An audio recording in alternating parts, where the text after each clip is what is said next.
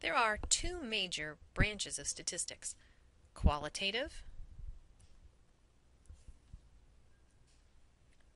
and quantitative. In the first, these would be qualitative words or descriptions.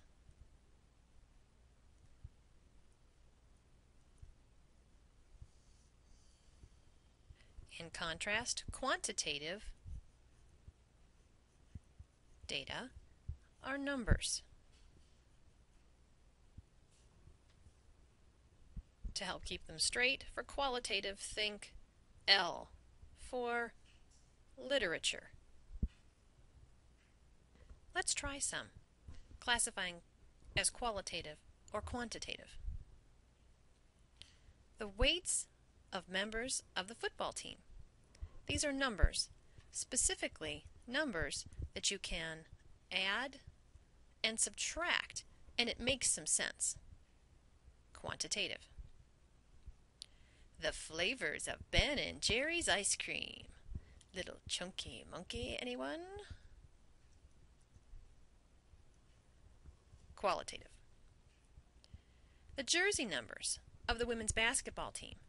Yes, they're numbers, but let me highlight that when we're talking about quantitative, we should be able to add and subtract these.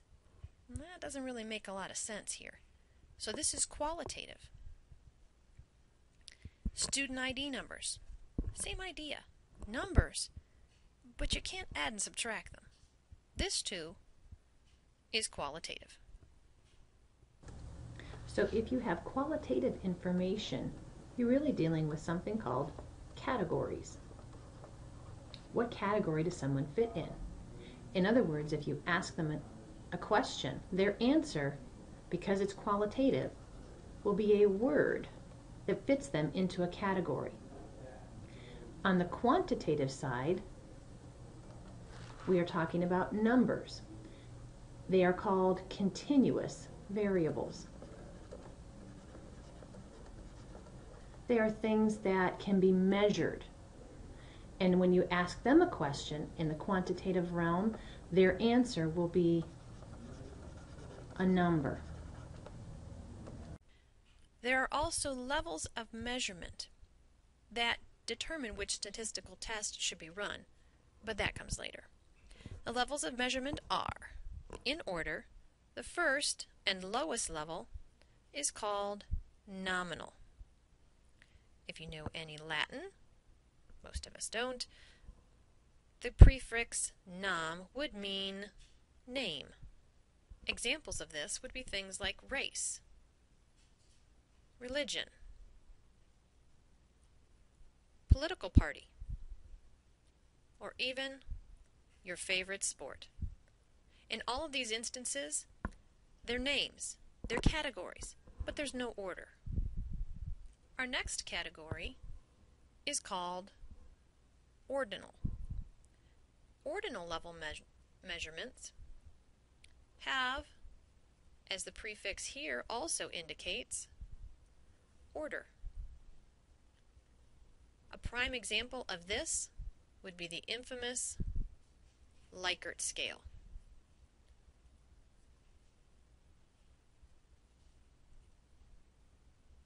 We've probably all seen this before. This is a Likert scale. There's order, and you have to choose which one represents you, but there's no number to it. Our next level is called interval.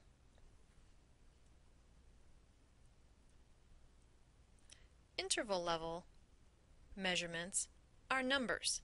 Numbers specifically that you can add or subtract, and it makes some sense. Things that would fall into this category would be test scores, temperatures. The last level of measurement is called ratio.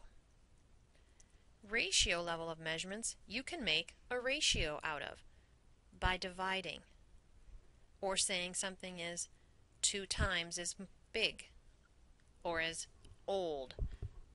These are generally things that are measured, such as height, age, or the amount of money someone makes. So we're back to having you try. Det- determine the level of measurement.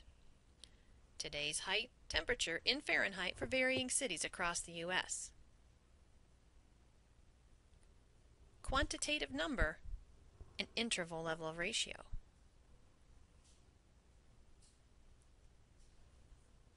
There is a natural break between the two, with the first two being considered qualitative and the last two are quantitative.